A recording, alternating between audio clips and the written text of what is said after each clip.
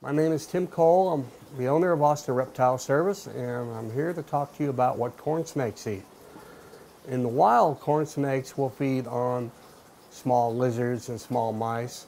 In captivity, most people breed ones that feed on mice pretty readily.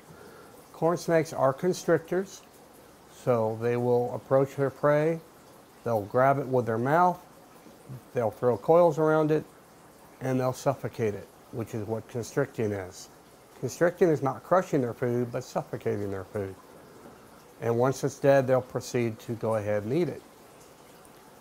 Most people will feed their pet corn snakes frozen, thawed rodents rather than live because a live rodent can injure the snake. And most corn snakes will take that readily. I breed and raise corn snakes, and most of mine have never seen a live rodent. Even from their first meal, they feed on baby pinky mice that have been thawed out in hot water. So it's very safe for them to feed on. And you don't have to risk them getting injured when they get older and they'll eat an adult mouse or an adult rat that could hurt the snake. So this is what corn snakes eat.